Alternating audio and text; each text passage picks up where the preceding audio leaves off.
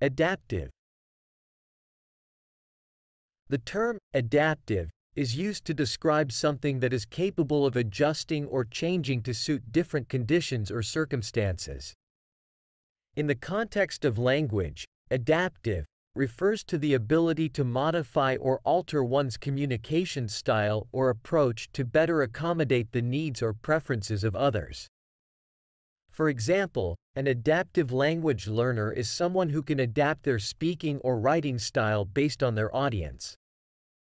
They can switch between formal and informal language, adjust their vocabulary or tone, and use appropriate gestures or body language to effectively communicate with different people or in various situations. Here are a few more examples to illustrate the concept of adaptive in different contexts. 1. Adaptive technology. This refers to devices or software that are designed to assist individuals with disabilities. For instance, screen reading software that reads out text for visually impaired individuals or voice recognition software that allows people with limited mobility to control their devices through speech. 2. Adaptive clothing. This refers to clothing specifically designed to meet the needs of individuals with disabilities or limited mobility.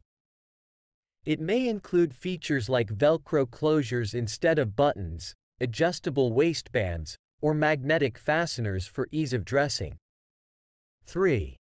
Adaptive sports. These are sports or activities modified to accommodate individuals with disabilities.